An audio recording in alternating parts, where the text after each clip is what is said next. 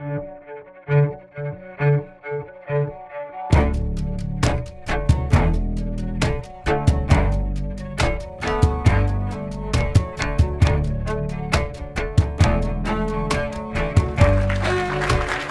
everyone, I'm Graham.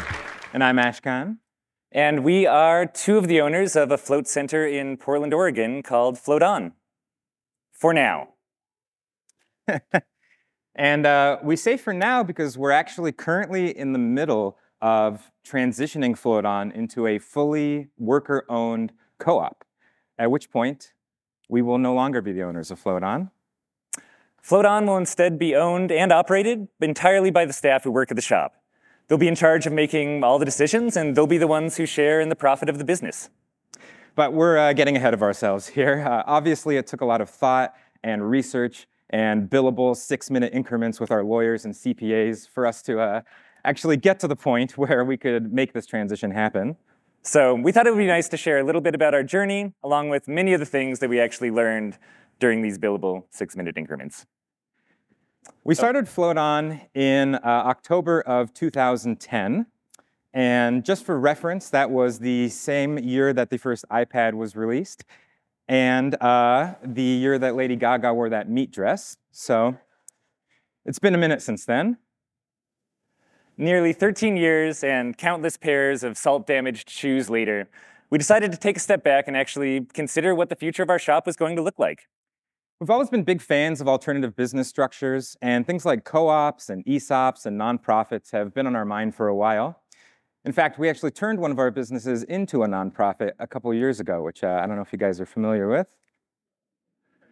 So, we started exploring the idea of our shop transitioning into one of these structures. And as we were looking into ESOPs, which is another employee owned business structure called employee uh, stock ownership plans, we kind of found they don't really seem that feasible unless you're a little bigger business than a float center is. And a nonprofit structure also didn't really make sense in this context. So co-ops were the thing that we were kind of the least familiar with as we were getting into this, and we buckled down and started to do some serious research into them. Now, we've had some crazy ideas in the past, and uh, it's usually during this initial research phase when we find out, usually from our lawyers, that all the reasons we uh, are trying to do things are basically infeasible pipe dreams and that all these plans are completely crazy. But the more we actually looked into co-ops, the more everything seemed to just make sense and actually be more and more reasonable. And it was, it was incredibly encouraging how everything seemed to be fitting into place. Yeah, people weren't telling us like, no, or who do you guys think you are? Like we're used to hearing from people. And uh, eventually we realized that for us and for Float On, uh, co-op structure was actually probably kind of an ideal uh, space to move into. So let's spend some time going through what we actually learned and why this started to seem like a better and better option for us as we moved forward. When we started doing research, the first thing we realized is that we didn't like 100% actually know what a co-op was. So a co-op or a cooperative is basically a business structure where the business is owned by the people who work in it and or produce the products that or services the business is providing. There are a few other principles or pillars, if you prefer, that they, uh, that they tend to adhere to. Um, a big one is the idea of democratic ownership. So everybody has an equal voting power in the business. But in general, the idea is just that it's a business that's owned by the same people that participate in the business in some way. And that idea actually goes back pretty far. Uh, you see this show up in ancient societies like Egypt with uh, mutual grain banks. Uh, there were insurance funds, a lot of which started after the Great Fire of London uh, back in the day. And even in medieval guilds, there's cooperative principles that are present, including the ideas of democratic control and collective benefits. But the first modern cooperatives, as we know them today, didn't come about until the 1800s, mainly in response to the Industrial Revolution. And the most impactful of these was something called the Rochdale Pioneers of Great Britain, which started in 1844. Uh, this group developed the cooperative principles that form the sort of basis of modern day co-ops. And some version of these principles is actually still in use by pretty much every cooperative out there today. Honestly, the, the whole history of co-ops is actually pretty interesting and you guys should look into it. Uh, and we could actually spend the next three hours delving into it with you.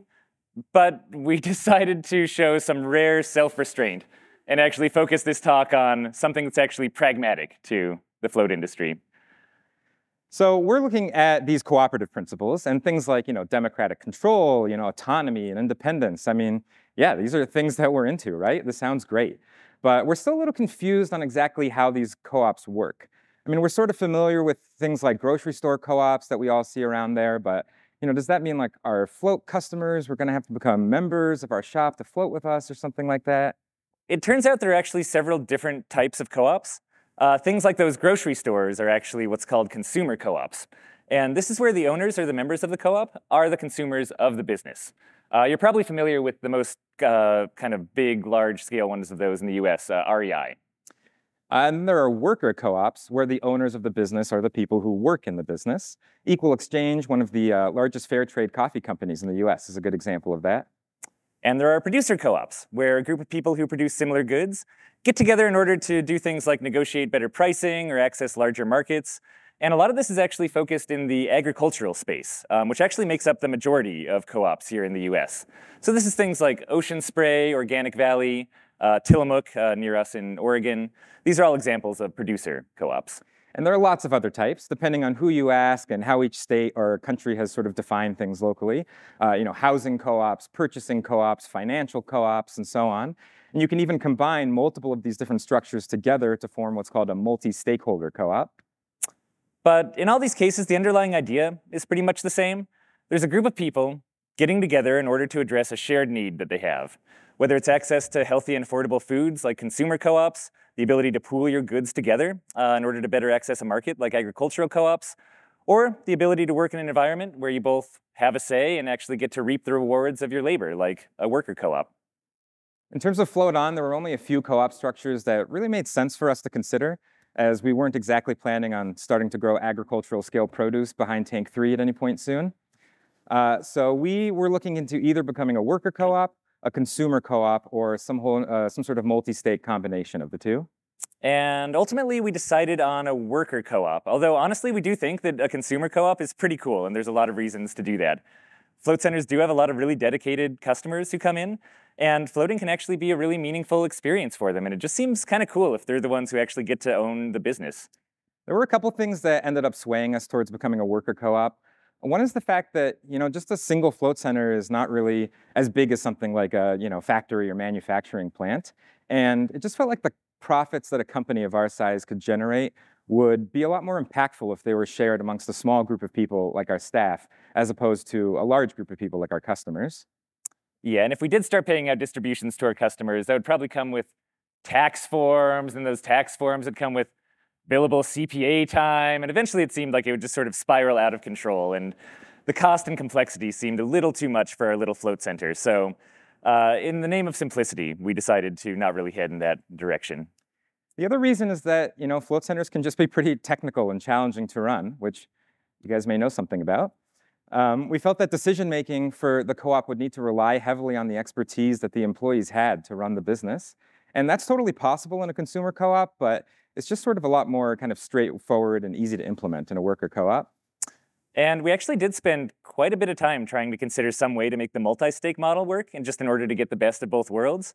Um, and in the end, uh, mainly actually because of just law, cooperative law in Oregon, we decided that a worker co-op made the most sense and would just stop things from getting too overly complicated.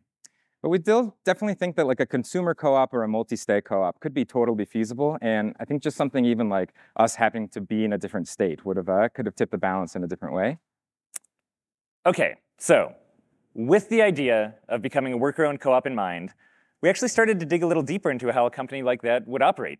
And the first thing we found out is that almost all co-op law here in the US, as we kind of mentioned, is state-based. So the exact specifics of all of this are going to vary from place to place.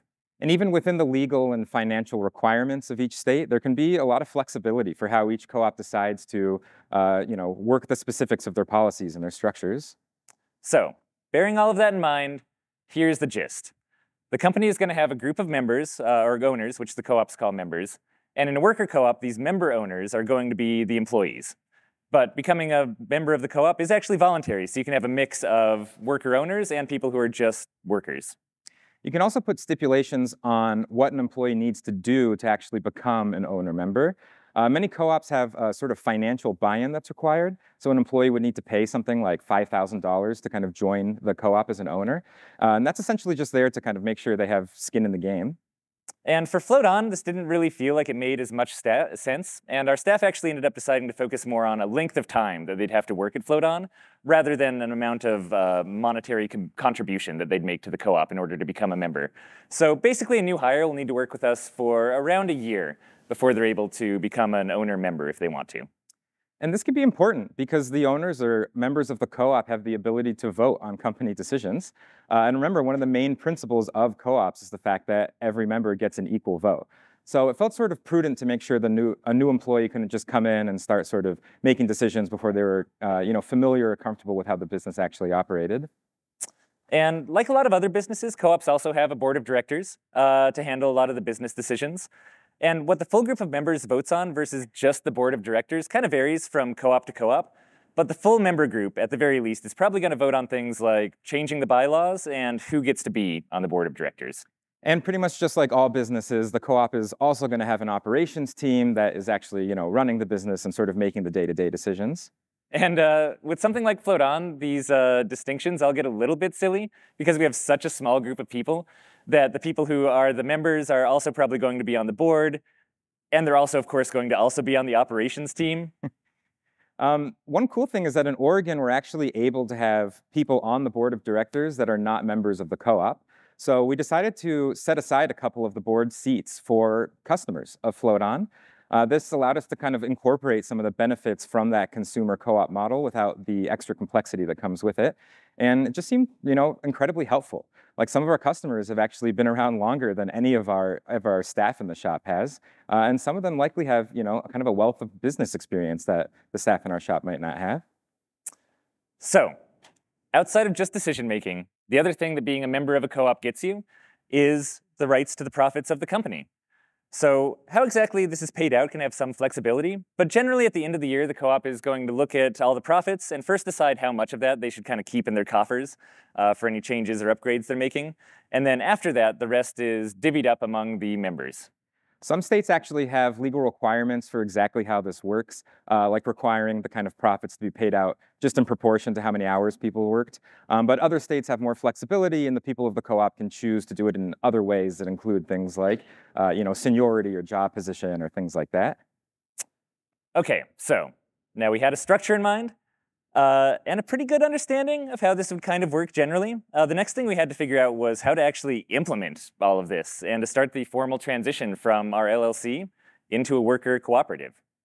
So the first thing we needed to do was talk to our shop staff. Uh, as you may have guessed, you can't exactly turn into a worker co-op if you don't have workers that are interested in it.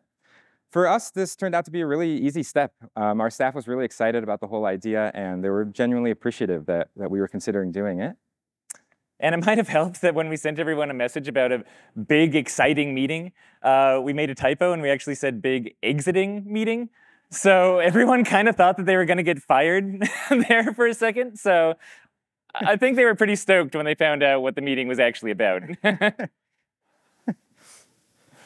so uh, after we knew that our staff was on board, the first official step was them actually forming a new legal entity, which is the co-op. Um, and because the name Float On was technically taken by our existing company, they needed to come up with a temporary name uh, to use until the co-op could kind of transfer the rights of Float On over to itself. Um, so our staff met and decided to call themselves the Intergalactic Float Cooperative. Uh, so the way this works is that this new entity, the IFC, if you will, is actually going to buy all of Float On's assets from us, which will allow them to take over the business. So uh, we will actually get paid for this conversion of the business. We don't need to like donate float on or anything like that to make this happen. The prices of the sale is agreed upon between us and the new co-op members, which is our staff, and it's similar to the price we would have gotten just selling on the open market. And actually the transaction ends up happening a lot like the sale of any business, except that the sales to cooperatives have a few kind of cool superpowers. So Let's actually take a second to talk about what would have happened had we pursued a normal business sale, so we can go back and kind of see how this co-op process differs a little bit from that. If we were trying to sell our business conventionally, the first thing we would have needed to do was find a buyer. And you know, this can be a pretty hard step. Like Float On has been our baby. Uh, you know, we put all of this love and care into it. And the idea of just handing it over to anybody is not very appealing. And we need to find someone who seemed both passionate about it and actually capable of running it, while at the same time trying not to be so exclusive in the process that we haven't just like wiped out anyone who would be a potential candidate for a, a buyer. And we would have needed to actually find that person somehow. Uh, what businesses typically do to help with this is they will hire a business broker who you know, finds and vets potential buyers. So with the co-op, we essentially just get to skip this step. Uh, we already have a buyer, which is the staff of our float center, and we already know they're passionate and they're capable. And those business brokers are going to keep around 10% of the business sale, so we get to kind of skip that whole chunk of cost as well in this process. Okay, so let's say we would have found a buyer. That person needs to actually be able to afford to buy the business. And with the sale of something like a float center, it's very likely that that person is not going to just have you know, all the funds necessary to make this purchase sitting in their bank account. Um, so they're going to likely need to go to the, to the bank to get a loan, and that loan is likely going to need to be backed by the SBA. Something like that is, is probably the most common outcome. And in a co-op transition, it's actually sort of the same thing. Uh, but this is really where the magic comes in. So this entire thing can happen without our staff actually putting any money down or taking on any personal liability. So just like our hypothetical buyer, our new co-op is going to ask for a loan to cover the cost of purchasing the business. But with the normal buyer, the bank is going to ask for a down payment and they're going to ask for uh, some personal collateral. So in other words, if the business collapses, you know, the bank is going to go after their personal assets to try to recoup their money. With co-ops, this isn't necessarily the case. So there are these organizations out there that are willing to issue loans to co-ops, specifically without a down payment and without asking anyone to be a personal guarantor on the loan. And that means that if the business falls apart, the lender will recoup what they can from the business, but it stops them there. None of our staff need to put themselves at risk or, or kind of put their personal uh, uh, uh, liability uh, out there, uh, risk their personal assets. And while theoretically any lending institution can do this, we found from our experience that going through these special organizations called Community Development Financial Institutions, or CDFIs, is sort of your best bet, at least here in the US. None of the conventional banks we talked to were willing to consider a loan without a down payment or, or personal guarantors, but the CDFI that we talked to was uh, totally down. Um, they were familiar with this, and in general, CDFIs just sort of understand and support co-op development to a much greater degree than a, than a normal bank does. And uh, one of the big reasons that CDFIs are actually comfortable with this is because co-ops actually have a better track record of staying in business than normal business entities, which also means they have a lot fewer defaults on their loans when they're getting them. Uh, and ultimately, having the co-op able to secure a loan through a CDFI without this down payment and without personal guarantees is really what made that idea of approaching our staff and talking to them about this even possible, um, and certainly much more approachable and, and realistic to us. Now, when it comes to us as sellers getting paid, it can also be a little bit different than a normal business sale. Uh, instead of getting all of the same price at once, or the sale price at once, we will get 70% of it up front, and the other 30% is actually going to be a seller's note. And that seller's note is going to have a similar interest rate and sort of timeline to the rest of the loan that the co-op is getting.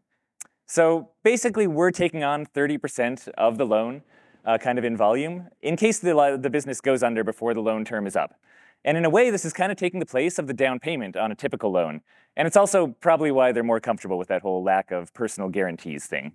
There is some room for negotiation with these percentages with the, the CDFI, but from what we can tell, this sort of 70-30 split is very, very common, and trying to get the CDFI to kind of uh, pay more than 70% upfront is pretty unlikely. There's this other interesting benefit that uh, we'll mention too that comes with selling your business to a co-op. So there's something called the 1042 rollover uh, which has to do with IRS Section 1042, recapture of gain of disposition of qualified replacement property, which I'm sure you're all familiar with. Um, so essentially, here's how it works. Uh, if you sell your business to a worker-owned co-op, you can actually defer paying any of the capital gains tax that you were supposed to pay on that, as long as you reinvest the money into what's called qualified replacement properties, um, which include things like you know, stocks in, the, in, uh, in US companies. And if you sell that investment later on, you will then at that point have to pay the capital gains tax that you would have paid initially. But if you don't ever end up selling it, and instead you pass it on in your estate, nobody ever has to pay that capital gains tax. And this is a benefit um, from the IRS specifically for businesses selling to worker co-ops or ESOPs.